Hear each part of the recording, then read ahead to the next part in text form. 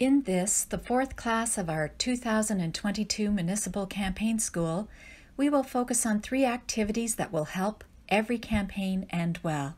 We've collected feedback from women who have run for office and worked on successful campaigns in the past.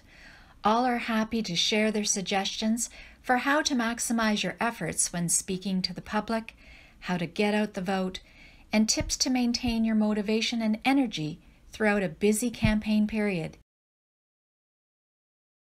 Speaking in public to a large group of people or appearing in the media spotlight may seem intimidating to some running for office.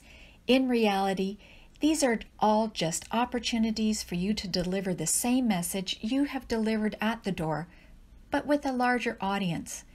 As many of the events are recorded and available online afterwards, it's also free advertising for your campaign. The number of all candidate meetings and media opportunities vary greatly across Grey Bruce. They are usually organized by community groups like local agricultural societies and chambers of commerce, or visual media organizations like Rogers TV. A list of all registered candidates will be readily available, and these organizations will reach out to invite you to participate. All candidate opportunities are intended to raise awareness of who is running and to hear their position on local issues. Watch the 2018 Grey Bruce All Candidate meetings and media presentations still available online. You will see the various formats and past candidates in action. It's a great way to develop presentation strategies that best suit your personality and style. You will also get a good idea of the types of questions that are asked.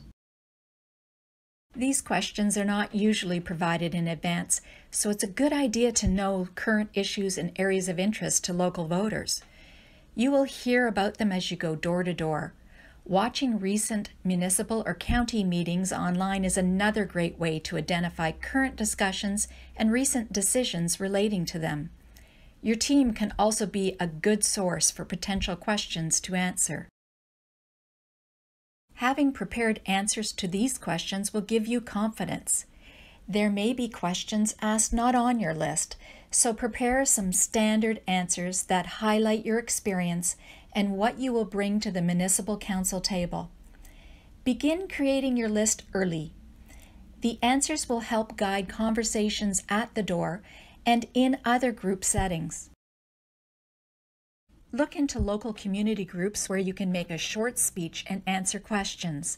A speech based on your Why I'm Running story is best used, tailored to the group. Keep your responses to questions short, and if you don't know the answer, don't be afraid to say that, but also add what approach you will take in making decisions in the future. Some of the elected officials we spoke with advised not to make promises you can't keep. You may find your position on a specific issue changes when you receive more information and context.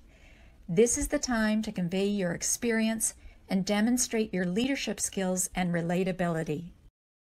A lot of people don't enjoy public speaking, so if the idea of an all candidates meeting has you a little nervous, you are not alone. Three things will help you deliver a performance of which you can be proud. The work on your campaign has prepared you for this. You've created your story and know what skills you bring to the table. You are now more aware of local issues and have created responses to questions, so you know your stuff. Practice your opening and closing statements until you know them inside out. Rehearse them in front of a mirror, then with your team or use Zoom to record and rewatch it afterwards to perfect your delivery of the message. Time your statements, speaking slowly and including pauses. There is nothing worse than being stopped by the moderator before your message is complete. Your audience will be left with the impression you couldn't manage the time allowed when they are looking for leaders who can manage much more. Besides knowing your material well and practicing, there are a few things you can do to help manage any last minute jitters. Maintain good posture, whether sitting or standing. It will give you confidence. When others are speaking, listen carefully and maintain a pleasant yet neutral demeanor. You can use a pencil to write down notes or highlight parts of your message that are relevant to the discussion. Resist the temptation to nod, frown, or fidget with your papers. That gets noticed and can be distracting to others. At the beginning, pick out several friendly faces in the audience and make eye contact during your opening and closing remarks. Take the time to chat with other candidates before and after the event. After all, these are people you could be working with in the future, and you're all in the same boat now. Be open, friendly, and supportive. It will help you relax and make the event more enjoyable for everyone. Then, take a deep breath and tell yourself, I've got this, because you do. Several of the women we spoke with suggested joining a local public speaking group like Toastmasters. There are several chapters in the Grey Bruce region conducting regular meetings online. Guests are always welcome, and you will quickly pick up tips that will greatly increase your confidence when speaking in public. The term get out the vote means encouraging those who are supporters to follow through by casting their vote. It is said that many campaigns are won or lost on their ability to do just that. The date for municipal elections is set as the third Monday in October every fourth year. In 2022, that is Monday, October 24th. Current Council will have approved the method of voting before nominations open on May 2nd.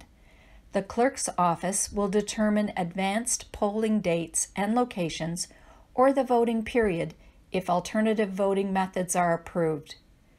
For those municipalities electing ward representatives, the municipality may determine that polling locations are required within each ward if using traditional ballots. In Ontario, the voters list is maintained by the Municipal Property Assessment Corporation, or MPAC. Voters are encouraged to check online to see if they are on the voters list in advance. If they find they are not on the list, they can contact their municipal office to receive instructions on how to be added in time to vote on election day. Candidates may pick up a copy of the voters list from the municipality and are usually given a choice of paper copy or one provided on a USB key. The candidate must sign a statement saying the information will be kept confidential and will be destroyed at the end of the campaign. Whether and how you use the information will depend on the number of people on your team and your ability to use the data.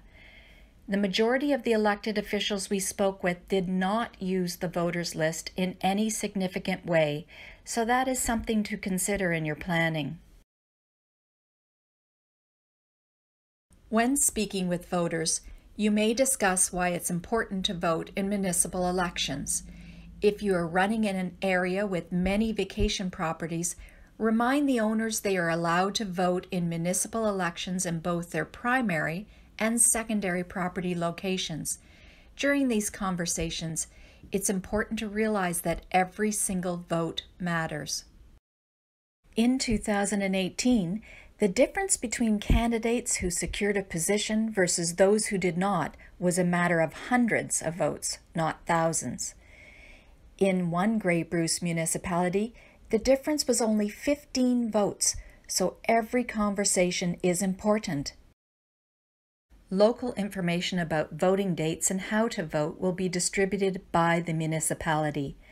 However, you may find that many you speak with are still confused about how, where, and when to vote. This is especially true in municipalities with a combination of in-person, by phone, or online options. Make sure everyone on your team is aware of the facts so they can easily communicate them to others. Include key election information on any material you distribute for easy reference later.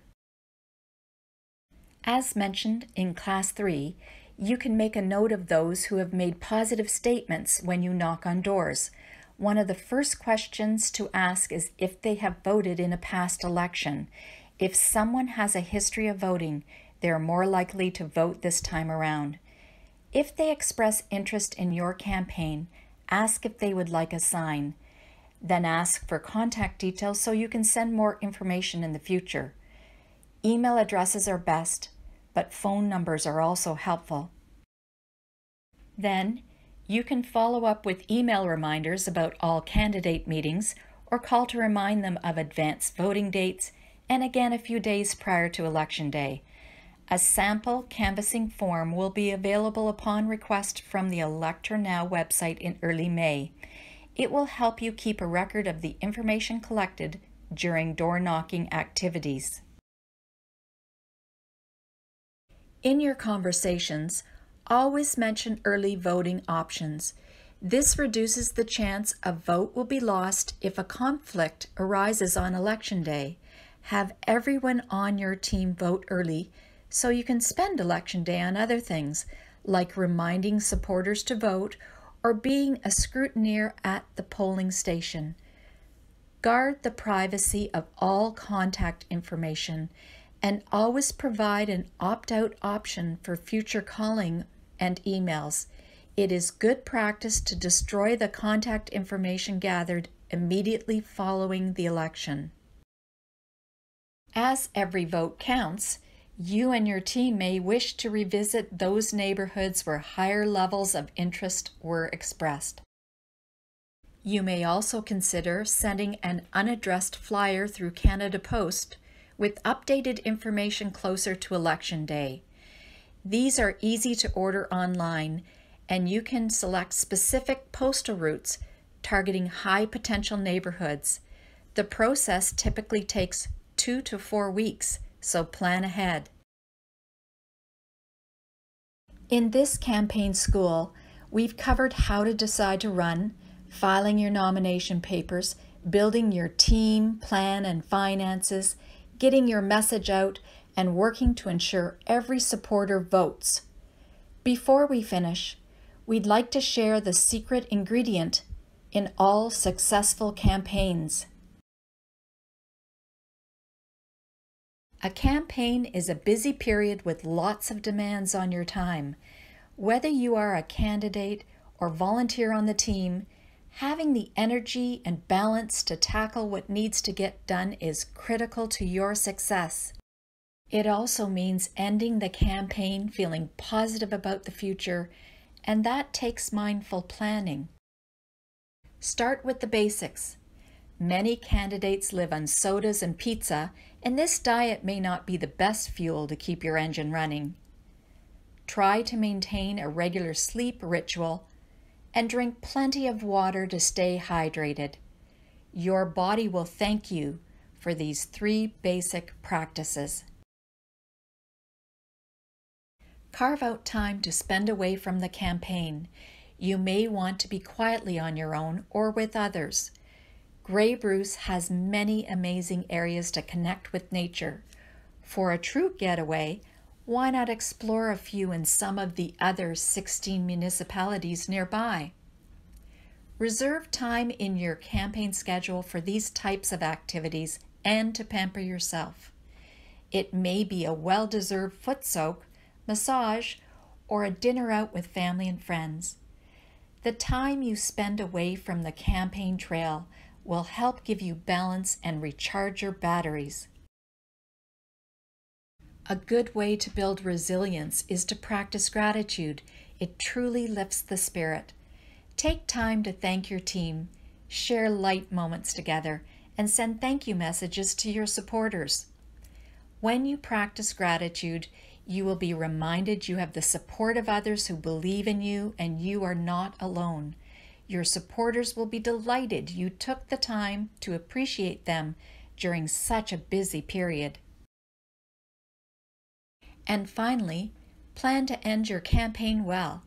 It's true, not everyone who runs gets elected, but all can take the time to reflect and celebrate the team effort. You will recall the difficult times and laugh at the comical moments, sharing memories of the past few months as you work together.